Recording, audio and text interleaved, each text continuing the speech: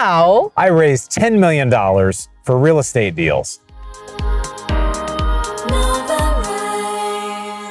Hello, everyone, and welcome back to another episode at Novarise Invest. So, back by popular demand, we have our very special guest, Bronson Hill. Bronson, welcome to the channel. Hey, great to be with you guys again. These are some of my dearest friends. So, so excited to be with you guys again. Likewise, we're so excited to have you here. So, we talked about raising $10 million to invest in real estate, but that was back then when we met Bronson for the very first time. Up to this point, you definitely raised a lot more money than that. So, why don't you tell us about it? Like, what do you need that much money for? What do you do with it? Yeah, so actually it's 25 million now. So I've, I've, I've picked up since then. But uh, basically, what we do is we buy apartment buildings and we have investors that are trying to save on taxes or they're trying to uh, have their money work for them rather than them having to buy houses or to do the work themselves. Um, this is a way they can passively invest to be able to get a great return on their investment. And so, um, yeah, it's just, it's really passionate about it. We love doing it. We love helping investors and it's just a lot of fun. And well, I mean, you've grown so much since the last time we spoke. So you definitely are doing something right. So tell me, where do you go and, and find these investors that want to work with you? What, what, what do you offer them in, in addition to um, investing in real estate without getting hands on? Yeah. So the biggest thing I've done is just like what you guys do is create educational content around, you know, why someone should do this and what or what are maybe discovering or showing somebody a problem that they don't, don't, don't know that they have. So typically a lot of high earners in the US will pay sometimes 30, 40, 50% or more of their income in taxes, which is awful. So if you're a mm. physician, if you're a lawyer, if you own a business, you can pay a lot in taxes. And so we offer a way to basically help defer or potentially uh, reduce taxes or even eliminate taxes in some cases. I'm not a, a CPA or tax professional, but uh, just these investments offer some real tax advantages. And so uh, people, when they when they come and they join, a lot of times they've had some real estate experience. They're like, I don't want to own houses. It's too much work. I've I don't want to get calls at 2 a.m. about the toilets backed right. up or something. Some horror stories like you've heard, or they trash the place. This is a way that you actually can be fully passive, where you vet a team like our team that. Uh, and there's many many groups that do real estate syndication, or that's the term, real estate syndication. And then they vet the deal, and then they'll basically receive mailbox money or they'll receive passive income, which uh, which is amazing. So, yeah, sounds great. Um, who wouldn't want to get a check in the mail without having to stress out at two o'clock in the morning? So now, Bronson, um, for those who are actually interested in, in, in, investing with you, let's say I come in and I say, Bronson, here's my money. What's next? Like, how, how do I know what's coming? Yeah, so basically how we do it, I mean, groups do it differently. So just kind of talking generally from, you know, I can share how we do it. And there's other groups that do this as well. But I do think the skill of learning how to passively invest is a great skill because if you're a business owner or somebody who wants to retire and you feel like you can actually effectively uh, double your investment every four to six years, which I'm not talking about any specific investment, but we see a lot of investments conservatively that can, can do that. Um, it's a way you can grow your wealth without taking up more of your time. You know, if you're mm-hmm. having to uh, you know, do another, you know, small apartment building or a single family or do all this stuff yourself, it just feels like a lot of work.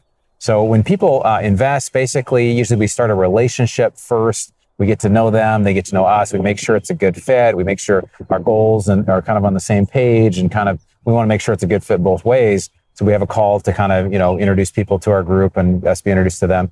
And then when we have a new deal, sometimes it fills up in a couple days. Sometimes it takes a few weeks. It just depends on the deal.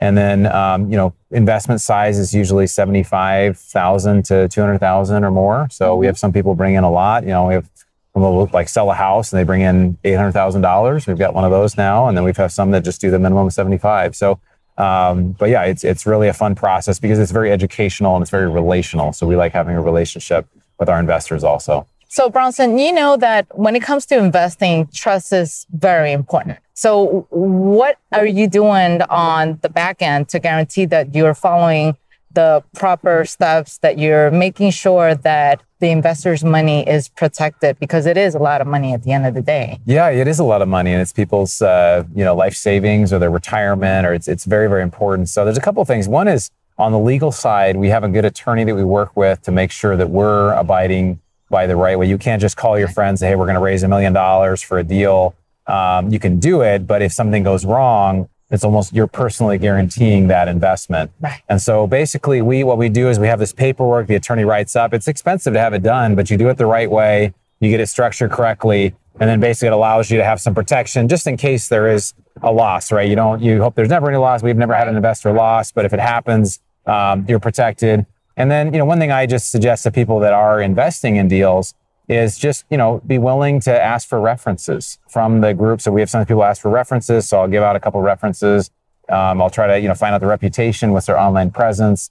Sometimes we'll do a background check on other partners. I do that on other partners that are part of our deals, just so that we're kind of covering all, bases. You can't guarantee that you know you're totally risk free of a scam or something, but it's something that I also think about because I invest passively in other deals as well. So thank you, Bronson. That was definitely very helpful for those um, who are looking to invest their money uh, in a way that it's beneficial and comfortable for them. But what about those who are on the other side of the coin that are looking to learn about syndications and, and raise money the proper way? Can you share any tools or um, any learning experiences that can help them uh, get to the level that hopefully they'll eventually partner with you in the future? Yeah, well, the best thing I can say is is when you're learning about real estate syndication or when you get beyond single family, it's very much of a team sport. So uh, we're actually at a conference, all of us right now. Right. We're learning about things having to do with real estate and partnerships and teamwork and sales and raising money. And and it's just amazing how when you go to live events, particularly regional or national conferences, um, you learn a lot. You learn from the education that they teach you, mm-hmm. and you also learn from the uh, networking. So you'll meet people and hey, let's do a deal together, or somebody can raise money, or they can do a deal. So you can do different parts of, of the equation. And I think even as a passive investor, that's really helpful as well. Some great books out there. If you search real estate syndication, there's some great books. Uh, there's a website called goodhire.com. So any of my partners I work with on a deal, I always background check them just to make sure. And I, I'm, i share my background check as well, just to make sure that if something goes bad, at least I've, I've checked, you know, to make sure they're okay. Thank you, Bronson. That was actually very helpful. Um, so you, you raised a lot of money, um, and with a lot of money comes great responsibilities. So who do you include as part of your power team to help you manage that large sum of money successfully? Yeah, so team is really important. I think, um, like I mentioned, it is really a team sport. So uh, you know, the easiest way I think to start is in raising money. So if somebody's watching, like, hey, I, I, can maybe talk to some friends and family and start to gather some money. It is really, really helpful to have someone on the team though that has been doing this for over five to 10 years. Hmm. So then, you know, they know they can find deals effectively. And the biggest thing is they can actually manage a deal effectively. So it's one thing you can raise all this money and get all this done, but if you can't execute on your plan, uh, and not everybody has that experience. It's very different managing That's a right. you know a single family or having a property manager than you're like trying to manage a 200 unit apartment complex and you have all this money, other people's money in the deal, right? So uh, one of my partners has 28 years of experience and over 13,000 units. So you can kind of borrow other people's experience in different areas. So I would say it takes usually at least two people. Sometimes there's a third or fourth. It just depends kind of how much money you need to raise based on how much you feel like you're able to raise maybe one person found the deal, somebody else is going to manage it. So when you put together your team, it is important to try to find somebody I think that's really experienced and has been doing it a long time. And have you noticed that now going from 10 million to 25, has your team grown? Is it the same size? Um, what's your take on that? Yeah, so it, it's changed a little bit. So the nice thing about real estate deals is that um, a partnership is more like for the deal. So you kind of like I have this thing like you don't really know somebody until you do a deal together, right? right. So if you and Anthony we did a deal together, like you kind of really get to know people. Like how do they do under pressure? What happens if things are stressful? It's like you a know, marriage. It kind of is, but it but it's a little shorter term. But it gives you some you know insight in just how it would be like to work with this person long term. So the partnerships that I have, uh, one partner I'm working with now this we're on our, our fifth deal together. Great. And I've had other partners, and we've just done you know a deal here, a few deals here. But I've, I've my partners now I really like, and so sometimes there's some of that where the more you work together, the more you kind of gravitate around people that have similar values. That you say, you know, you get some experience as well, so you know what you're not looking for, right? So experience for it gives you just in the beginning. You just want to get a deal done. That's the hardest thing when you're starting is just getting your first deal done. I remember when I raised hundred thousand dollars for my first deal, which came from an investor at a meetup I started in Los Angeles where I live.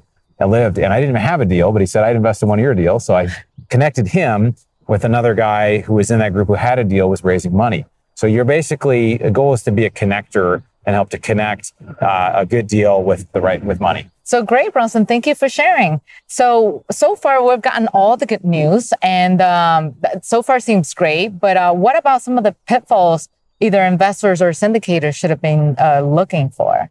Yeah, so I think the biggest thing uh, as a passive investor, you know, if you're investing in someone's deal, reputation is really important. So the other day I had one of my investors who they uh, sent me something. They got a ClickFunnels thing online. They're like, "Hey, I'm thinking about investing with this guy," and I was like, "I've never heard of this guy. I don't know who this person is. I can't find anything online about him." And I'm like, to me, like if there was a scam, it would be that, right? Just some sort of clickbait thing that nobody knows this person. You know, they're you try to check them out, you can't really find much about them. So that's something. Just know who you're investing with. Referrals are huge. So if you can find a referral from another passive investor, so if you're you know, you go to events and you meet other passive investors at a meetup or at a national conference. You can search on meetup.com for local meetups. This is a great place to find people, but uh, get a referral. That's really helpful. I think on the other side of uh, being an actual syndicator is go get some training. There's some great events on syndication.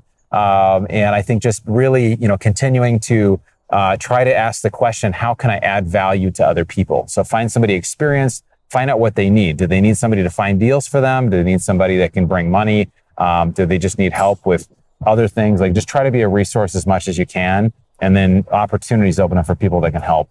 So it seems that um, the best way to find legit deals, um, both way, whether find legit deals or looking for investors who will be willing to give you the money to invest in real estate for them, will be to find uh, local real estate uh, events um, because now you have something in common to talk about. And it seems like it's the best place to meet everyone's needs. For the one who is looking to give the money to somebody and for the one who's actually looking to raise the money, correct? Yeah, I think so. I think basically when you're in a place where people are uh, want to talk about real estate anyway, you're going to find some people that are very experienced. And a really good question to ask is, uh, you know, maybe what's your what's gone well for you, but also tell me something that hasn't gone well. Tell me, tell me like a horror story. Tell, what, what advice would you give to me? I'm brand new. What would you tell me? And people love to share their advice, right? If yes. you're just come with a humble attitude and you're like, hey, I'm new, teach me. So it's kind of an ego, you know, it kind of boasts somebody's ego. Hey, well, tell I'm the, I'll be the Padawan, you know, you teach me. And so, um, so that's something I recommend that anybody's new is just, just be willing to ask lots of questions and learn.